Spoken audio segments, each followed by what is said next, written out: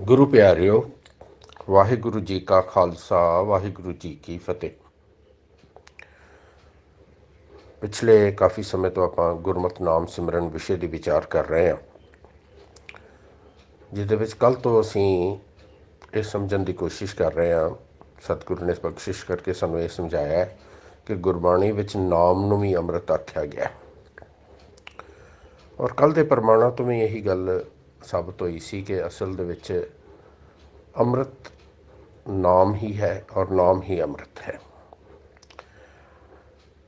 ਅੱਜ ਵੀ ਪਹਿਲਾ ਪ੍ਰਮਾਣ ਜਿਹੜਾ ਗੁਰੂ ਅਰਜਨ ਸਾਹਿਬ ਦਾ ਉਚਾਰਨ ਕੀਤਾ ਹੋਇਆ ਹੈ, ਜਿਸ ਵਿੱਚ ਪੰਜਵੇਂ ਨਾਨਕ ਬਖਸ਼ਿਸ਼ ਕਰਦੇ ਸਾਨੂੰ ਇਹੀ ਗੱਲ ਦ੍ਰਿੜ ਕਰਾਉਂਦੇ ਹਨ, ਰਤਨ ਜਵੇ ਹਰ ਮਾਨਕਾ, ਅੰਮ੍ਰਿਤ ਹਰ ਕਾ ਨਾਉ, ਸੁਖ ਸਹਿਜ ਆਨੰਦ ਰਸ ਜਨ ਨਾਨਕ ਹਰ ਗੁਣ ਗਾਓ ਰਤਨ ਜਵੇਹਰ ਮਾਨਿਕਾ। ਜਿਵੇਂ ਕੁਝ ਸੰਸਾਰਕ ਪਦਾਰਥ ਬੜੇ ਕੀਮਤੀ ਸਮਝੇ ਜਾਂਦੇ ਨੇ, ਜਿਨ੍ਹਾਂ ਵਿੱਚ ਰਤਨ ਜਵਾਹਰ ਮਾਨਕ ਮੋਤੀ, ਅੰਮ੍ਰਿਤ ਹਰ ਕਾ ਨਾਮ ਇਸ ਤਰ੍ਹਾਂ ਹੀ ਅਧਿਆਤਮਿਕ ਜੀਵਨ ਦੇ ਵਿੱਚ ਸਭ ਤੋਂ ਅਨਮੋਲ ਜੀਵਨ ਜਿਹੜੀ ਹੈ, ਚੀਜ਼ ਜਿਹੜੀ ਹੈ, ਉਹ ਪਰਮਾਤਮਾ ਦਾ ਨਾਮ ਹੈ ਔਰ ਪਰਮਾਤਮਾ ਦਾ ਨਾਮ ਅੰਮ੍ਰਿਤ ਹੈ। ਜਿਹੜਾ ਇਹ ਕੀਮਤੀ ਪਦਾਰਥ ਛਕ ਲੈਂਦਾ ਨਾ, ਉਹਨੂੰ ਫਿਰ ਆਤਮਿਕ ਮੌਤ ਨਹੀਂ ਕਦੀ ਆਉਂਦੀ। ਆਤਮਿਕ ਮੌਤ ਤੋਂ ਮੁਕਤ ਹੋ ਜਾਂਦਾ। ਉਹ ਤਾਂ ਸਗੋਂ ਉਹਦੀ ਅਵਸਥਾ ਕੀ ਬਣ ਜਾਂਦੀ, ਆਤਮਿਕ ਅਵਸਥਾ ਕੀ ਬਣ ਜਾਂਦੀ? ਸੁਖ, ਸਹਿਜ, ਆਨੰਦ, ਰਸ। ਉਹ ਆਤਮਿਕ ਅਡੋਲਤਾ ਦੀ ਅਵਸਥਾ ਦੇ ਵਿੱਚ ਆ ਜਾਂਦਾ ਹੈ। ਬਿਲਕੁਲ ਆਤਮਿਕ ਅਡੋਲਤਾ, ਆਤਮਿਕ ਮੌਤ ਨਹੀਂ ਆਉਂਦੀ। ਉਹਦੇ ਜੀਵਨ ਦੇ ਵਿੱਚ ਸੁਖ ਤੇ ਸਹਿਜ ਆ ਜਾਂਦਾ ਹੈ। ਸਹਿਜ ਉਹ ਅਵਸਥਾ ਹੈ ਜਿੱਥੇ ਮਨੁੱਖ ਕਦੇ ਡੋਲਦਾ ਨਹੀਂ। ਆਤਮਿਕ ਤੌਰ ਤੇ ਇਤਨਾ ਬਲਵਾਨ ਹੋ ਜਾਂਦਾ ਹੈ, ਕਦੇ ਡੋਲਦਾ ਨਹੀਂ। ਔਰ ਆਨੰਦ, ਸਦਾ ਹੀ ਉਹ ਖੁਸ਼ੀ ਦੇ ਮਾਹੌਲ 'ਚ ਰਹਿੰਦਾ ਹੈ, ਵਿਕਾਸ ਦੇ ਮਾਹੌਲ ਦੇ ਵਿੱਚ ਰਹਿੰਦਾ ਹੈ। ਐਸਾ ਰਸ ਉਹਦੇ ਜੀਵਨ ਦੇ ਵਿੱਚ ਆ ਜਾਂਦਾ ਹੈ ਜਨ ਨਾਨਕ ਹਰ ਗੁਣ ਗਾਓ, ਕਿ ਨਾਨਕ ਉਹ ਸਕਾਲ ਪੁਰਖ ਦੇ ਗੁਣ ਗਾਓ। ਉਹਦੇ ਗੁਣ ਗਾਉਣ ਦੇ ਨਾਲ ਇਹ ਅਵਸਥਾ ਪਹੁੰਚੇਗੀ। ਔਰ ਉਹਦੇ ਗੁਣ ਗਾਉਣ ਦਾ ਤਰੀਕਾ ਕੀ ਹੈ? ਅੰਮ੍ਰਿਤ ਹਰ ਕਾ ਨਾਮ ਉਹਦਾ ਨਾਮ ਅੰਮ੍ਰਿਤ ਹੈ। ਇਹਨੂੰ ਹਿਰਦੇ ਚ ਵਸਾਓ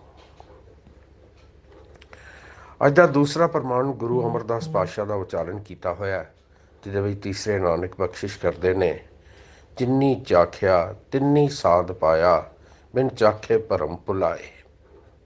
ਅੰਮ੍ਰਿਤ ਸਾਚਾ ਨਾਮ ਹੈ, ਕਹਿਣਾ ਕਛੂ ਨਾ ਜਾਏ। ਪੀਵਤ ਹੂੰ ਪਰਵਾਨ ਪਿਆ, ਪੂਰੇ ਸ਼ਬਦ ਸਮਾਏ। ਕੋਈ ਦੁਨਿਆਵੀ ਪਦਾਰਥ ਵੀ ਹੋਵੇ, ਸਾਨੂੰ ਕੋਈ ਕਿੰਨਾ ਕਹਿ ਕੇ ਸਮਝਾਈ ਜਾਵੇ ਕਿ ਇਹ ਚੀਜ਼ ਇੰਨੀ ਸਵਾਦੜੀ ਹੈ, ਇੰਨਾ ਰਸ ਹੈ ਇਹਦੇ ਵਿੱਚ। ਲੇਕਿਨ ਜਿੰਨਾ ਚਿਰ ਅਸੀਂ ਆਪ ਚੱਖੀਏ ਨਾ ਅਸ, ਉਹਦਾ ਅਸਲ ਸਵਾਦ ਕੀ ਹੈ? ਸੱਚਮੁੱਚ ਉਹਦੇ ਖਾਣ ਨਾਲ, ਉਹਦੇ ਭੋਗਣ ਦੇ ਨਾਲ ਸਾਨੂੰ ਕੀ ਆਨੰਦ ਪ੍ਰਾਪਤ ਹੋਇਆ? ਇਹ ਆਪ ਖਾ ਕੇ, ਆਪ ਭੋਗ ਕੇ ਹੀ ਐਕਸਪੀਰੀਅੰਸ ਕੀਤਾ ਜਾ ਸਕਦਾ ਹੈ। ਉਹਨੂੰ ਕਿਸੇ ਦੇ ਕਹੇ ਨਾਲ ਐਕਸਪਲੇਨ ਨਹੀਂ ਕੀਤਾ ਜਾ ਸਕਦਾ। ਸੋ ਬਿਲਕੁਲ ਇਸ ਤਰ੍ਹਾਂ ਹੀ ਪਰਮਾਤਮਾ ਦਾ ਨਾਮ ਰਸ ਜਿਹੜਾ ਹੈ, ਨਾਮ ਅੰਮ੍ਰਿਤ ਜਿਹੜਾ ਹੈ, ਜਿੰਨੀ ਚਾਖਿਆ ਤਿੰਨੀ ਸਾਥ ਪਾਇਆ। ਇਹਨੇ ਚੱਖਿਆ ਉਹਨੇ ਇਹਦਾ ਸਵਾਦ ਉਹਨੂੰ ਪਤਾ ਲੱਗਾ, ਉਹਨੂੰ, ਉਹਨੇ ਇਹਦਾ ਰਸ ਮਾਣਿਆ। ਬਿਨ ਚਾਖੇ ਭਰਮ ਭੁਲਾਏ। ਤੇ ਬਗੈਰ ਚੱਖੇ ਦੇ ਮਨੁੱਖੀ ਜੀਵਨ ਭਰਮਾਂ 'ਚ ਹੀ ਪਿਆ ਰਹਿੰਦਾ ਹੈ। ਮਨੁੱਖ ਭਰਮਾਂ ਵਿੱਚ ਹੀ ਪਿਆ ਰਹਿੰਦਾ, ਭੁਲੇਖੇ 'ਚ ਹੀ ਪਿਆ ਰਹਿੰਦਾ ਹੈ। ਔਰ ਅੱਜ ਸੱਚ ਜਾਣੋ ਸਾਡੀ ਬਹੁਤਿਆਂ ਦੀ ਜਿਹੜੀ ਹੈ ਨਾ ਆ ਅੰਮ੍ਰਿਤ ਨਾਮ ਬਾਰੇ ਤੇ ਇਹੀ ਅਵਸਥਾ ਜੇ।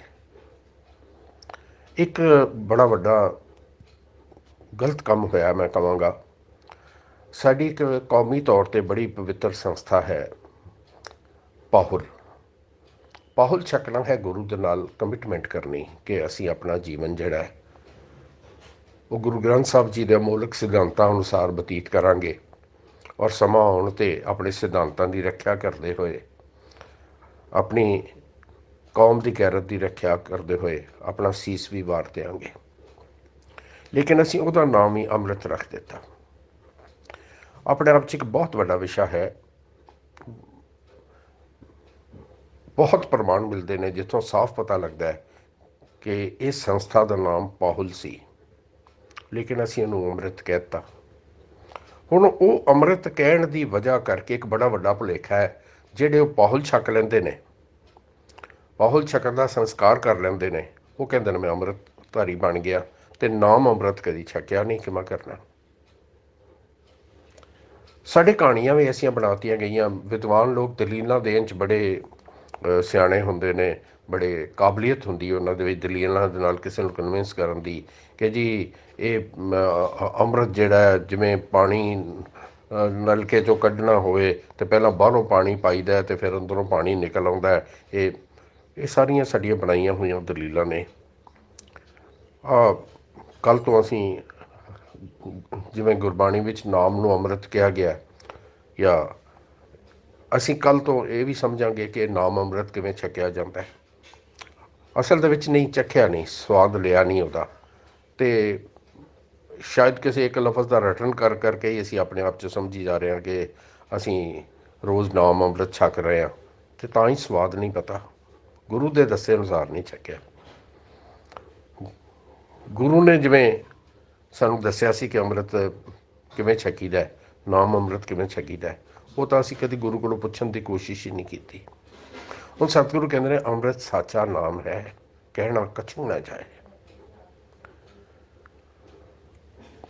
ਪਰਮਾਤਮਾ ਦਾ ਨਾਮ ਹੀ ਸੱਚਾ ਅੰਮ੍ਰਿਤ ਹੈ। ਸਤਿਗੁਰੂ ਨੇ ਇੱਥੇ ਬਿਲਕੁਲ ਐ ਸਪਸ਼ਟ ਕਰਤਾ ਹੈ, ਪਰਮਾਤਮਾ ਦਾ ਨਾਮ ਹੀ ਸੱਚਾ ਅੰਮ੍ਰਿਤ ਹੈ।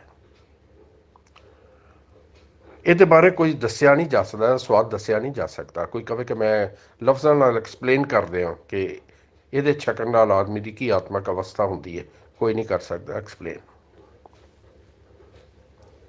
ਜਿਨੇ ਚਾਖੀ ਸੋਈ ਜਾਣਾ, ਗੂੰਗੇ ਕੀ ਮਠਿਆਈ।